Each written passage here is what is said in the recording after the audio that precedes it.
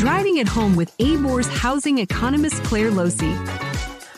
Hey, y'all. We're back with another episode of Driving It Home with everyone's favorite housing economist, Dr. Clare Losey. This is Danielle Hammett, Deputy Director of Communications at ABOR. I'm filling in for our CEO, Emily Chenevert, who is at an industry conference this week. Hey, Clare. Hey, Danielle. Thanks so much for having me. Well, team, we've got a treat for you this week. Our May Central Texas Housing Market Report drops tomorrow, but we're going to give you a sneak peek of those numbers today. Clare, what can agents expect in tomorrow's report? So let me preface my response by saying that I believe a month over month comparison, as opposed to our typical year over year comparison that we use, to be more relevant for today's market conditions. And the reason from that primarily stems just from the sheer fact that the Austin housing market peaked in April and May of last year, 2022, posting record high home sales prices of $550,000. So, comparing a market that is currently readjusting to broader macroeconomic conditions, including those higher mortgage rates, to a market that was really marked by unsustainable growth, gives us some cause for pause. So, with that being said, moving on to our month over month numbers, and I should note that these month over month comparisons are seasonally adjusted the median sales price in the Austin MSA, which measured $467,500, was essentially flat from April to May. But sales did tick up considerably over the past month, coming in at about 2,900 in May, which was nearly a 16% increase. Meanwhile, the close to original list price ratio also ticked up hovering around 94% in May, which broadly indicates to us that sellers are pricing their homes more accurately the first time around and buyers are more responsive to those prices right? And we should say too that here is where the expertise of a realtor really comes into play. Working with that designated professional who is going to help you price your home correctly the first time around and help you get it sold quickly is really, again, beginning to show up in the data more and more.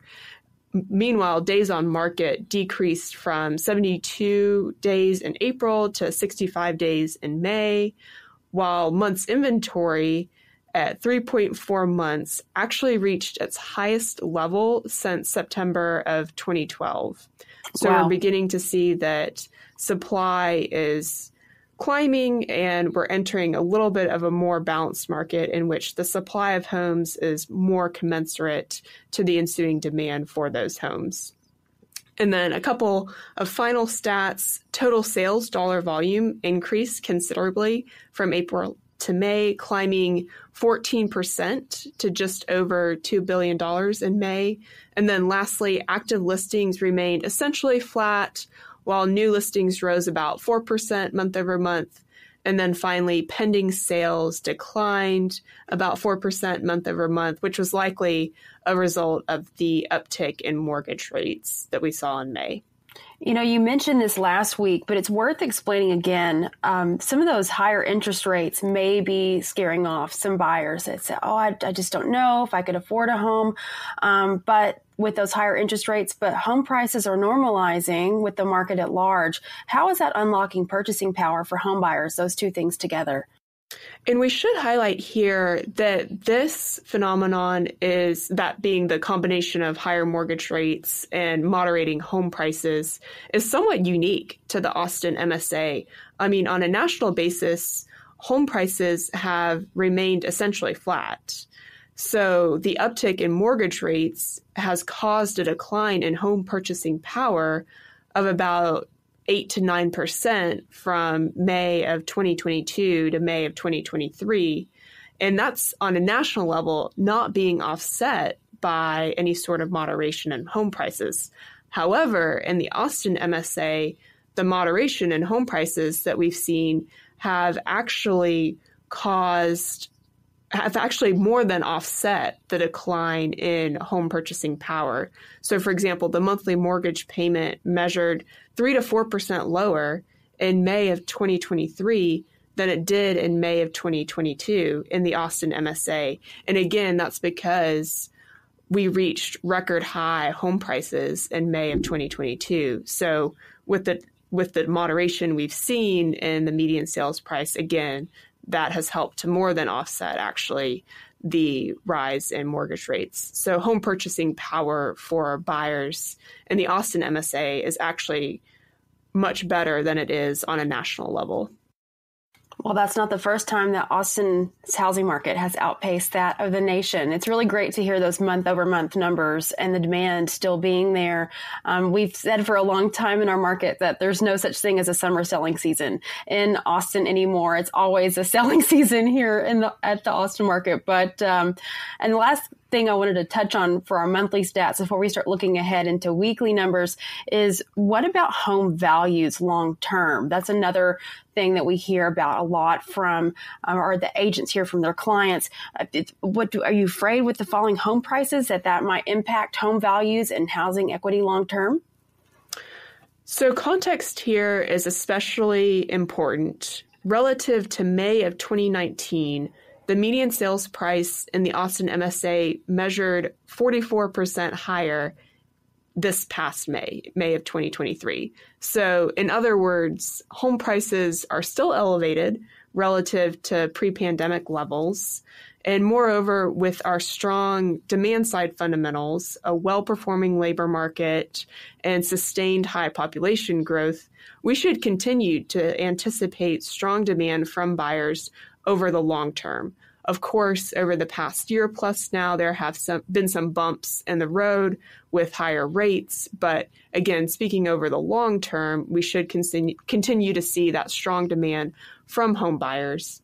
With still elevated mortgage rates, buyers on the margin, those are largely going to be your first time buyers who may not be able to qualify for a mortgage loan with those higher rates may still be on the sidelines, but as con- as conditions continue to readjust, we should see some of those buyers step into the foray of homeownership. So to put it succinctly, home values are still elevated relative to pre-pandemic levels, and folks who have purchased within the past few years even have seen a large uptick in home equity and will will be able to capture that down the line through an increase in home values again over the long term. Got it. So, just to recap, normalizing market looking ahead into the summer, we've still got strong demand, more purchasing power for buyers, especially those first time buyers, and much needed um, increases in inventory to give you more options as a buyer. And still with that demand, higher close to list price. That's good news for sellers. So work with that realtor to make sure that you are setting that list price at just the right competitive amount. Um, all right. So as we close out our May numbers, don't forget again that May 2023 Central Texas Housing Market Report drops tomorrow morning on abor.com slash market statistics. But members, don't forget that you can also download infographics and in-depth reports of the numbers at both the city and the zip code level all throughout Central Texas at abor.com slash market statistics. There is so much there that you can share with your clients no matter what area of the region that you specialize in. So, Clare, looking ahead into June, how have we been doing this first week of the summer? So, as our listeners probably remember, last week we saw a surge in closed sales on a week over week basis that was probably largely due to the Memorial Day holiday. So, in other words, buyers delayed closing on their homes until after the Memorial Day holiday, which was, of course, Monday, May 29th. So when we compare last week's housing activity, please remember that we're still dealing with some variations due to the effect of the Memorial Day holiday on housing activity. With that being said, closed sales declined last week, but pending sales ticked up about 20% week over week. So we should anticipate an uptick in closed sales next week on a week over week basis. And then meanwhile, active listings ticked up slightly, about 3%, and new listings ticked up a more considerable, about 4.5%. So you know, still relatively robust activity in the housing market with some skewedness again from that Memorial Day holiday and its effects on, you know, buyers choosing to close, um, you know, that uptick in, in closings that we saw last well, two weeks ago now. well, it still it sounds like it's a great start to the month. Um, looking ahead, this is a big week from an economic standpoint as well. There's a big meeting with the Fed kicking off tomorrow. What can we expect to come out of that meeting? And are there any other big economic reports that agents need to be on the lookout for? Absolutely. So, Tuesday, the 13th, um, the CPI numbers are going to be released, the Consumer Price Index numbers, which is our broad measure of inflation and the overall economy. So that's something, certainly something to be on the lookout for. And then the pr- producer price index will be released later in the week. And the producer price index, as we've talked about before on the podcast, is generally a leading indicator for the consumer price index.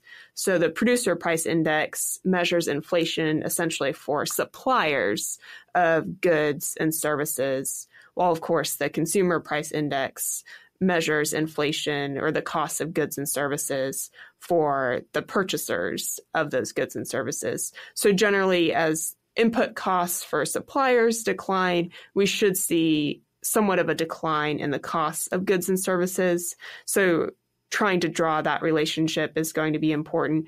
With respect to what the Fed will decide to do with the federal funds rate, it's largely anticipated that they will choose to pause with respect to any sort of rate hike, with some anticipation that they're delaying that rate hike and for their their postponing it to their July meeting.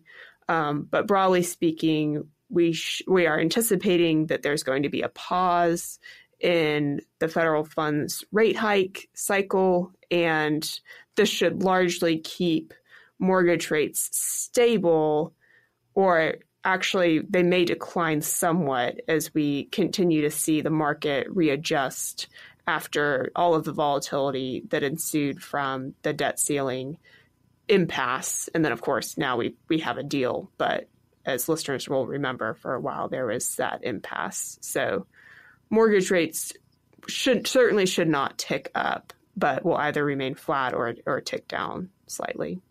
Well, that's great news. And yes, we're all excited and happy to be, for that impasse to be in the past. But um, looking ahead again, we have two, before we close today, two really exciting research reports that Dr. Losey is going to talk to us about. Um, first one hit your inboxes yesterday morning. It is our 2023 Central Texas International Homebuyers Report Survey. Clare, what should uh, should agents know about this survey and why should they take it? Sure. So this survey provides us with broad indication of housing demand from, of course, our international homebuyer population.